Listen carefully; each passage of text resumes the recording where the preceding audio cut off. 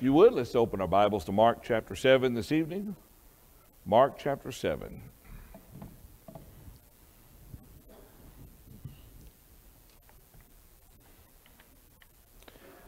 On Sunday evenings, for I think this is the sixth lesson, we've been looking at the idea presented by Jesus here in Mark chapter 7 regarding exactly what defiles us. And the specific text comes from verses 18 down through verse 23. And as, as we've talked about this, we're looking at it really from the standpoint as Jesus had intended it. That under the new covenant, our relationship with God would be that which would be based upon our faith in Him, but established within an honest and sincere heart. You think about what Jesus said the Father was searching for. He was looking for those who would worship Him in spirit and in truth. And so we stop and think about where our obedience comes from and what really what motivates us in our service unto God. Now, what I mean by that, I'll explain a little, little better than what I just said. The children of Israel, when they were born physically, they were born automatically accountable to the law of God. Now, I realize they were infants, but their parents had to circumcise them. Their parents had to, had to uh, deal with them in the proper way according to the law. And as they got older, they had to learn the law. And then when they learned the law, they learned about sin. And then they learned about their accountability to God. Um, and then what you hope for is that they would then follow the law from the heart. Not all of them did. But when one becomes a Christian, it is based upon an obedience out of the heart. Obey from the heart that form of doctrine. It's because you were convicted and you consciously made the decision, a decision you made within your mind, within your heart, to become a child of God. Now, that establishes a relationship, a fellowship with our Heavenly Father that allows us to go before Him and worship Him and pray to Him and to walk in fellowship with Him, much like the children of Israel had to be consecrated to go before the temple. We had to be consecrated by the blood of Jesus Christ so that we could have this fellowship with our Heavenly Father. But just as they could be defiled and would have to go through a cleansing process, Jesus is making the point here that they were worried about all the outward things defiling them, and they were missing where true defilement came. You think about it, their defilement, they were worried about whether or not they could go to the temple. So they had to be washed properly, they had to be cleansed properly. While all along, these individuals were defiled before God, not physically, but spiritually. And that's Jesus' point here in Mark chapter 7 when he says, What comes out from a man in verse 20, that defiles a man. For from within, out of the heart of men, proceed evil thoughts, adulteries, fornications, murders, thefts, covetousness, wickedness, deceit lewdness, an evil eye, blasphemy, pride, foolishness. He says all these evil things come from within and defile a man. With tonight's lesson, I want to talk about defilement by pride. By pride. Now, we're not going to talk about pride from the standpoint of, you know, you really care the type of job that you do, and so you want to do it well. We, we understand that we kind of, people kind of look at pride in that way, have take pride in what you're doing. But we're talking about from a biblical perspective. And this particular word, pride, as is used in Mark chapter 7, there in verse 22, here's the Greek word and the definition there that follows. It primarily means pride or haughtiness, would be another word. Arrogance would be a good word to use. Matter of fact, in the American, in the King James translation, this word is found only once, this Greek word, and is translated as pride. But the meaning can be pride, haughtiness, arrogance. But look at number two the character of one who, with swollen estimate of his own powers or merits, looks down on others and even treats them with insolence and contempt. He read from about four feet above everybody. Um, but this is the idea that we're talking about the idea of an attitude Jesus calls it pride.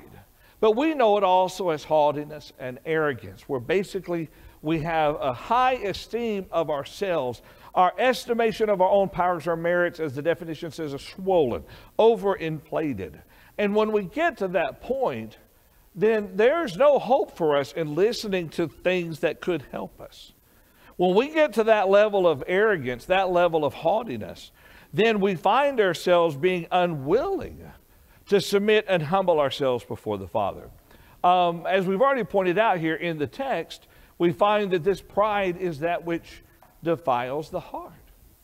You know, if an individual becomes a Christian, they obey the gospel's call unto salvation, they obey from the heart that form of doctrine. It's a great thing. But if somewhere along the line they become arrogant, they become haughty, then they're no longer walking in fellowship with God. This is the concept there, there of defilement. They're no longer in fellowship with Him until they get their heart right, so they get their attitude right with Him. Now, we're going to talk about some of the problems of pride in the lesson tonight. One of the first things I want to notice, it does affect the way that we treat other people. And in this context, when I say the way we treat other people, I'm talking very specifically, of course, about our own brethren, but it would extend out towards those who are of the world. But notice our responsibility. This is from Romans chapter 12. Observe there with me verses 3 through 5.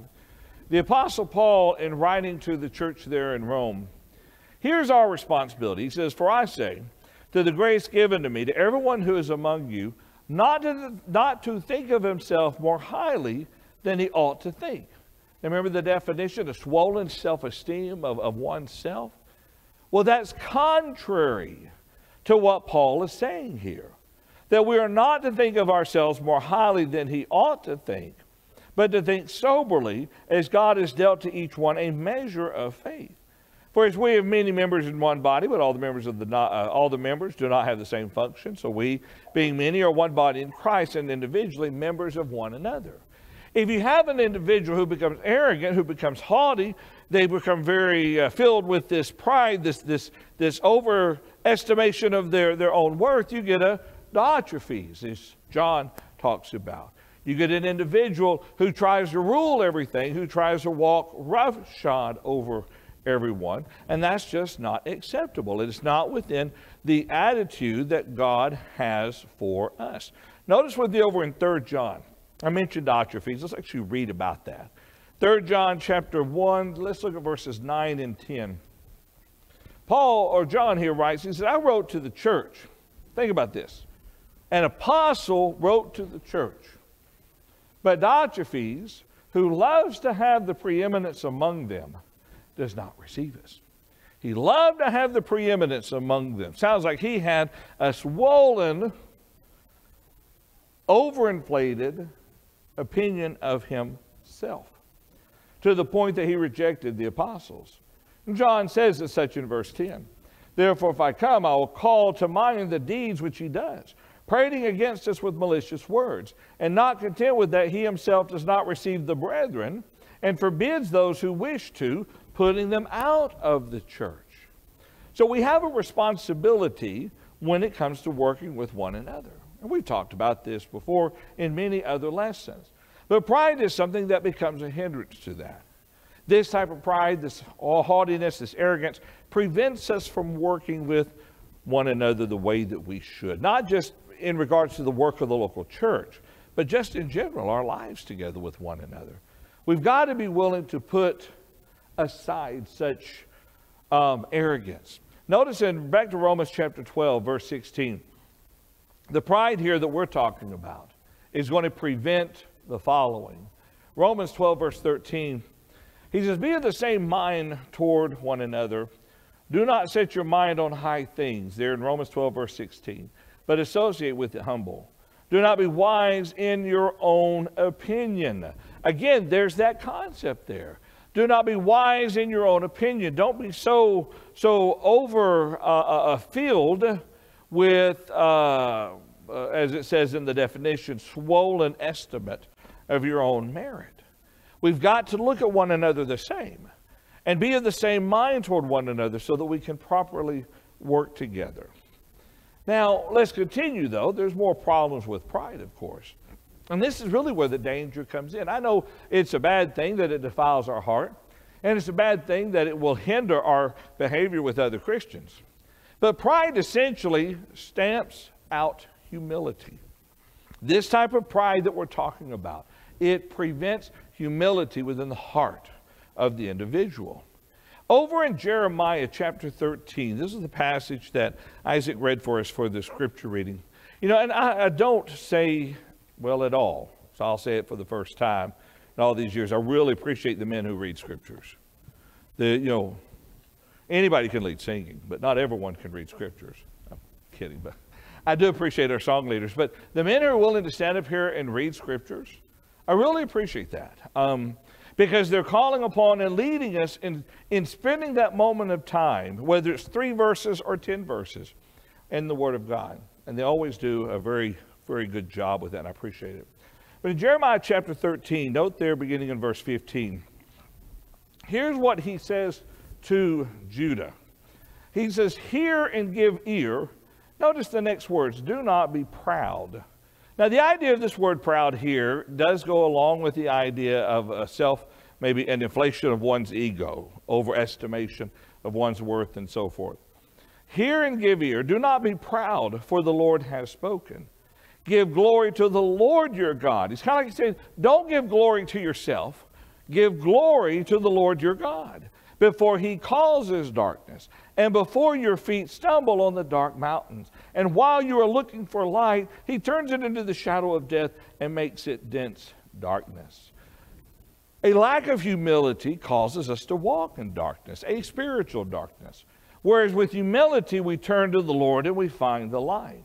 17 says, But if you will not hear it, my soul will weep in secret for your pride, Jeremiah writes. My eyes will weep bitterly and run down with tears because the Lord's flock has been taken captive. If you wanted a, a, a reason why Judah went into captivity, Jeremiah identifies one of the causes right here, and that was pride that was pride and arrogance, a haughtiness, a, a, a lack of humility before the Heavenly Father. Let's turn over and look at Jeremiah chapter 48. Obadiah also fell, not Obadiah, sorry, Edom. The nation of Edom fell within the same category or fell because of the same reason. Over in Jeremiah 48, let's read verses 28 through 29. Kind of jumping into the middle of this, he says, you will dwell in Moab, leave the cities and dwell in the rock. And he says, and be like the dove which makes her nest in the sides of the cave's mouth. We have heard the pride of Moab. He is exceedingly proud of his loftiness and arrogance and pride, and of the haughtiness of his heart. I said, um, Edom is Moab. So we see what was the problem with the Moabites. What was the problem with the king of Moab? What was wrong with them? Their pride. Their pride kept them from doing the right thing. Their pride kept them on their path of arrogance against the Heavenly Father.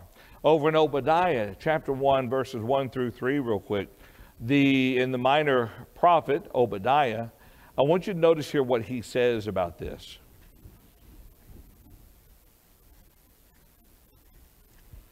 Obadiah chapter 1. Notice in verses 1, the first three verses. He says, Thus says the Lord God concerning Edom We have heard a report from the Lord, and a messenger has been sent among the nations, saying, Arise and let us rise up against her for battle. Now, here's what the word of the Lord is Behold, I will make you small among the nations. You shall be greatly despised. The pride of your heart has deceived you. You who dwell in the clefts of the rock, whose habitation is high. You who say in your heart, Who will bring me down to the ground? Though you ascend as high as the eagles, and though you set your nest among the stars, from there I will bring you down, says the Lord. Now, I use these as examples for the lesson to show that the, the pride that Jesus says that defiles the individual there, the things that come from within is that which defiles of man. This has always been a problem. You're going all the way back through the history. And you'll find that those who humble themselves before the Lord would serve the Lord. Those who refused to humble themselves, it was because of pride, arrogance, and haughtiness. And the ending was never good for them. Let's look at a couple of passages that Solomon, from the writings of Solomon, that expresses some very good thoughts regarding this type of pride, this arrogance, this haughtiness. We'll start in Proverbs chapter 16, and let's start there in verse 18 real quick. There in Proverbs chapter 16, let's start there in verse 18. He says, Pride goes before destruction, and a haughty spirit before a fall. Better to be of a humble spirit with the lowly than to divide the spoil with the proud. I mean, it's that simple, isn't it? At least the concept is that simple. Pride goes before destruction. Look at the history of God's people. In our Sunday morning Bible class, we started a lesson looking at the differences between the Old Testament and the New Testament. And one of the things we'll talk about as we get towards the end of that lesson is can we learn lessons from the Old Testament? And the answer is yes, we can learn lessons from the Old Testament. This is one of them right here. The statement that Solomon makes has uh, uh, uh, evidence for the truthfulness of this statement there. A number of times, time and time again, individuals have fallen because of pride. Look over to chapter 29 now. Chapter 29 of Proverbs is verse 23 here. He says, A man's pride will bring him low. That's the idea of falling again, okay? A man's pride will bring him low, but the humble in spirit will retain honor. It is better to start out with humility than it is to start out proud, proudful, and be taught humility. It really is. Um, and the problem is, is that oftentimes, like with the children of Israel, they would be very proudful, very, very arrogant, and the lesson was quite stern and it would reduce them to the point of humility. Now, unfortunately, for them, but in accordance with the scope of the new covenant needing to be established, they would repent and turn back to God. He would restore them. And then after about 40 years or so, they would get this pridefulness back. They would turn away from Him, and then He would take them down again. Oh, there's a whole course of the Judges where we see this happening and throughout the history of Judah, time and time again. But this is what we as Christians have to understand. And Paul, Paul tries to make this point for the Christians in the first century that this type of pride that we're talking about, this humility, this arrogance, is going to stifle the growth of humility within our lives. Romans chapter 11 is a very interesting passage. The context really is not dealing with what we're talking about here as far as the primary subject here. But there is a warning in this particular chapter here, and we'll read it here in just a second, Paul is talking about the Gentiles and how, what, what made it possible for them to become children of God? Well, the answer was very simple. Those who were Jews who rejected Christ, they were the branches that were cut off. And so, since like the olive tree, the branches did not bear fruit, they, they were not receptive to the Word of God, they were cut off.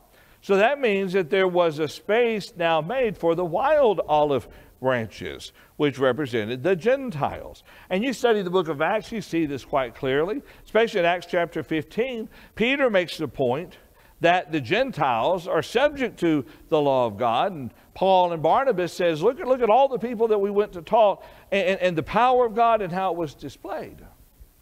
Well, good news, Gentiles can be saved. But here's the warning to them. Beginning in verse 19 of Romans 11.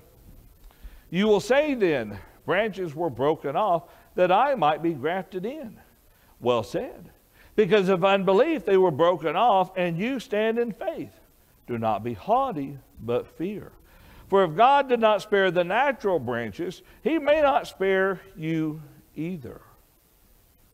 Now, when he says he may not spare you either, this is not saying flip a coin, you don't know whether or not you're going to be saved. He's not saying that. He's just saying, listen, if he was willing to cut off the natural branches, that is, the Jews who rejected Christ, if you who are granted in because of your faith make the same mistake, if you walk away from Christ, he'll cut you off as well. He'll cut off you as well. The Jews had an opportunity to be truly in fellowship with God. You think about the Old Testament time frame, the, the closest they would come to God would be, in a manner of speaking, of course, would be standing outside the temple or going into the courts that were allowed, whether now you're talking about the temple that Solomon built, then later the Herod would build. But fundamentally, the closest they could get was the outer edges of the temple. That was it. Now, the priests, they could go in, and so they get a little bit closer to God because the most holy place was not was the, I say the dwelling place of God. It was where his presence was they would go to. Once a year, the high priest would go in, and he would be there. Just John the father, or John's father, Zacharias, is an example of that. Would go into the most holy place and offer the sacrifice, the, the yearly sacrifice.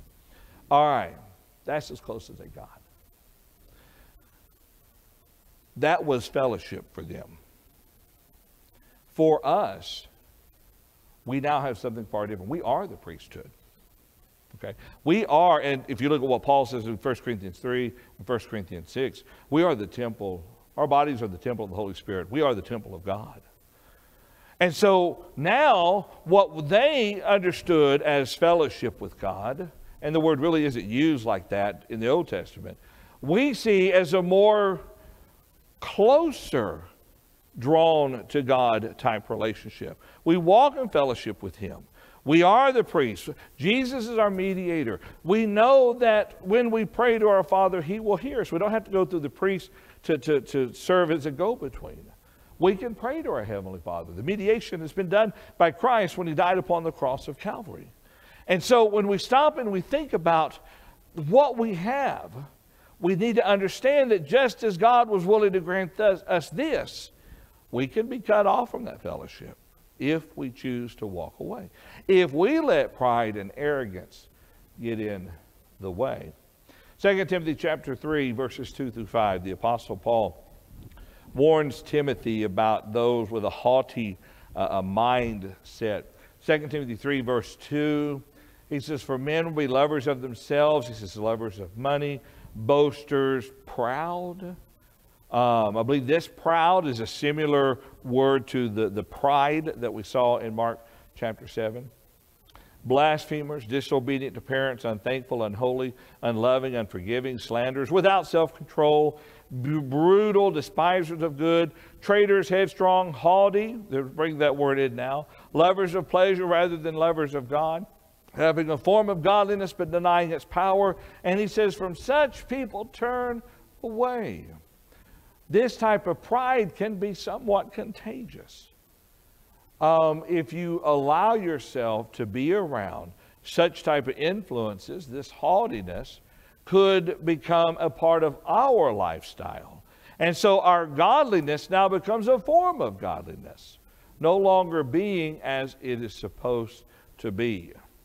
James 5 or James 4 tells us that God, that this pride um, will separate us from our Heavenly Father. Notice there, James chapter 4, come down there to verses 6 through 10. Notice what he says. but he gives more grace. Therefore, he says, notice this God resists the proud, but gives grace to the humble. And then he says, therefore, submit to God. Resist the devil, he'll flee from you. Draw near to God, he'll draw near to you. Cleanse your hands, you sinners, and purify your hearts, you double minded. Lament and mourn and weep. Let your laughter be turned to mourning and your joy to gloom. Humble yourself in the sight of the Lord, and he will lift you up. What, we've said this before. The, singular, the following phrase puts within the mindset of the faithful child of God great joy. And at the same time, in the one that's not serving God, great fear. And that is this God knows your heart. Think about that. God knows what's in our heart. Another such statement is God will be the judge. That's another one, okay? But God knows what's in our hearts. So when, as a faithful child of God, we pray to Him, we ask Him to forgive us of our sins, we, we, we make petitions of Him, we know that He's looking into the very heart of who we are. He knows what's within our mindset. He knows the sincerity or the lack of sincerity. He knows the godliness that is there or just the form of godliness that is seen outwardly. He can differentiate between these. So that's why it is so important that the humility that he's talking about begins and is rooted within our hearts. Humble yourself in the sight of the Lord, and he will lift you up. The question that we all have to ask of ourselves, and this is not a question that you look at someone else and point fingers towards, we have to ask ourselves Have we truly humbled ourselves before the Lord? This is a fundamental concept that Israel rejected, and many people today reject. Many people will profess a belief in God, but they're not willing to humble themselves before the Lord. They're willing to, to go to services a few times a year, but they're not willing to truly humble themselves before the Lord. We can have a form of, of godliness and still have within our hearts the pride and the haughtiness that, that, that defiles the soul. And here's what I find very interesting, because this is true for everyone sitting here. You know what goes on up here in your mind. We all do. Okay? You stand there in the morning, you look at yourself in the mirror, you know what that person is thinking in the mirror.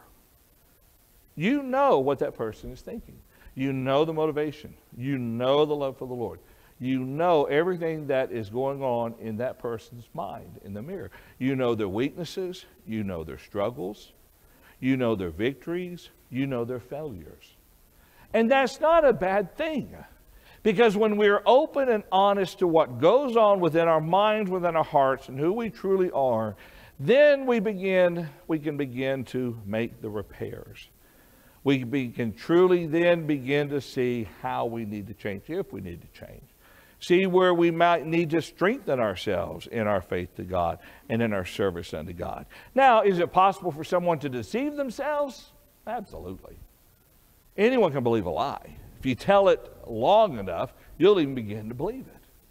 But even then, I think at that moment, if you peel away the lie while you look at that person in the mirror, you know what the truth is.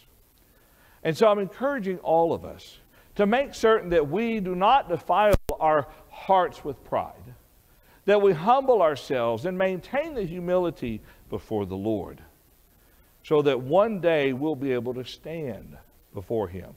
It's interesting that the Hebrew writer talks about us being able to boldly go to the throne of grace or boldly approach the throne of grace. He's not talking about an arrogance there. He's not talking about a haughtiness, nothing like that. He's just talking about one who has faith in God, trusts in his promises, and is living his life in faithful service unto God. And he believes the promises of God and will boldly go before the throne of grace. If you're not a Christian, you need to get a hold of the pride because pride might be causing you to not to submit unto Jesus Christ. If that's the case, let's go back to his word. Let's get back within his word and see what all he's done for you and the, the wonderful promises made by God to those who will submit into the gospel's call into salvation make the decision, if you believe that Christ is the Son of God, to repent of your sins. And, and, and we will ask you, if you believe that Christ is the Son of God, you make that public confession in front of us. Be buried with him in baptism so you'll rise up then to walk in newness of life. Now live your life without pride, but with humility and service unto God. If you are a Christian and this type of pride, this arrogance, this haughtiness of which we've spoken this evening has been hindering your service unto God, then it's time to repent. Humble yourself before the Lord. He will forgive you. He will lift you up. If you're subject to the gospel's call and invitation, come forward as we stand and as we sing.